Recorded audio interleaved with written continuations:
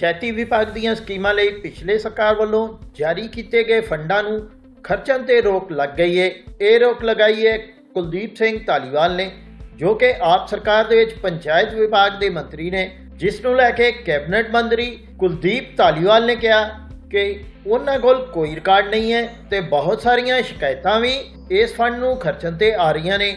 ਜਾਂਚ ਕਰਨ ਤੋਂ ਬਾਅਦ ਹੀ ਫੈਸਲਾ ਲਿਆ ਜਾਵੇਗਾ ਤੇ ਜਾਂਚ ਜਲਦੀ ਪੂਰੀ ਕਰ ਲਈ ਜਾਵੇਗੀ। ਅਤੇ ਫੰਡ ਵਰਤਨ ਦੇ ਹੁਕਮ ਵੀ ਦੇ ਦਿੱਤੇ ਜਾਣਗੇ। ਅਗਰ ਕੋਈ ਘੁਟਾਲਾ ਨਿਕਲਿਆ ਤਾਂ ਉਹਦੇ ਤੇ ਵੀ ਸਖਤ ਕਾਰਵਾਈ ਕੀਤੀ ਜਾਵੇਗੀ। ਆਓ ਦੇਖਦੇ ਹਾਂ ਇੱਕ ਰਿਪੋਰਟ। ਅਸੀਂ ਇਸ ਕਰਕੇ ਰੁਕੇ ਆ ਕਿ ਸਾਨੂੰ ਪਤਾ ਲੱਗੇ ਕਿਉਂਕਿ ਸਾਡੇ ਕੋਲ ਕੋਈ ਰਿਕਾਰਡ ਨਹੀਂ ਸੀਗਾ। ਪਤਾ ਲੱਗੇ ਕਿ ਕਿੰਨਾ ਫੰਡ ਸਾਡੇ ਕੋਲ ਪਿਆ ਕਾਦੇ ਲਈ ਪਿਆ। ਬਹੁਤ ਸਾਰੀਆਂ ਸਾਡੇ ਕੋਲ ਸ਼ਿਕਾਇਤਾਂ ਇਦਾਂ ਦੀਆਂ ਹੈਗੀਆਂ ਕਿ ਫੰਡ ਜਿਹੜਾ ਗਲੀਆਂ ਲਈ ਆਇਆ ਛੱਪੜਾਂ ਤੇ ਲਾਤਾ ਛੱਪੜਾਂ ਦਾ ਆਇਆ ਫਿਲਮੀਆਂ ਤੇ ਲਾਤਾ। ਜਿਸ ਕੰਮ ਲਈ ਗ੍ਰਾਂਟਸ ਆਈਆਂ ਸੀਗੀਆਂ, ਉਸ ਕੰਮ ਲਈ ਯੂਜ਼ ਨਹੀਂ ਹੋਈਆਂ।